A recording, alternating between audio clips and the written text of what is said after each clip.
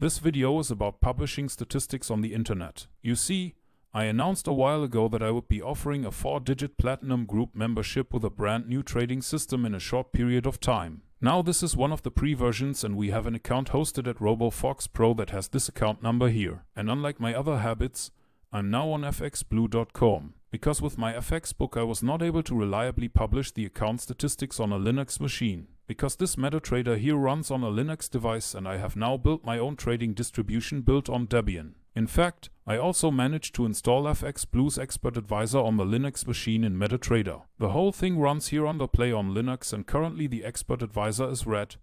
Because we get no new trading signals, it is weekend. But you can already see here, the last update was at 10.26 am the account details are also visible. FX Blue has different functionalities here. One can monitor certain core values. The whole thing can be displayed as a chart. Currently we have made 279 trades on the Euro US dollar chart with a total profit of $204.11. The net result is $89.16. Interestingly, we have 230 buy trades and 49 sell trades, although the euro US dollar has just this week reached its lowest level since the turn of the millennium. If you want, you can take a closer look at all these details here. I think it's set up quite well. Then there is the whole thing here again as a print statement or you can download it here in Excel. On my Linux machine here I don't have an Excel installation now, because it's a so-called stick PC. It runs silently in the background with just 2 gigabytes of memory, but it is more than powerful enough to run our expert advisor and has the advantage that we don't have to worry about getting any Windows updates installed in the middle of the night.